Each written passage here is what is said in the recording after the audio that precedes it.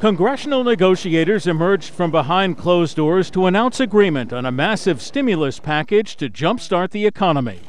The middle ground we've reached creates more jobs than the original Senate bill and spends less than the original House bill.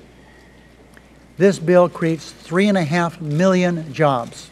The deal comes in at $789 billion, almost 50 billion less than the plan approved in the Senate, 30 billion less than the House plan. It is a fiscally responsible number that reflects our efforts to truly focus this bill on programs and policies and tax relief that will help turn our economy around, create jobs, and provide relief to the families of our country.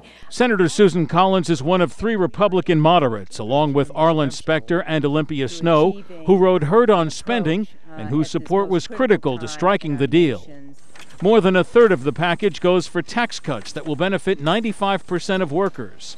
And about $150 billion goes for infrastructure improvements. But many Democrats are unhappy because the package doesn't include as much money as they would like for schools and education programs. Just hours earlier, President Barack Obama visited a windy road construction site to stress the need for the package. We're surrounded by unmet needs and unfinished business in our schools, in our roads, in the systems we employ to treat the sick, in the energy we use to power our homes.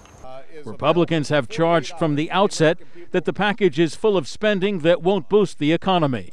The compromise agreement, coming after barely a day of negotiations, puts Democrats on track to meet their self imposed deadline of having a final stimulus package on the president's desk by Monday. Jerry Bodlander, The Associated Press, Capitol Hill.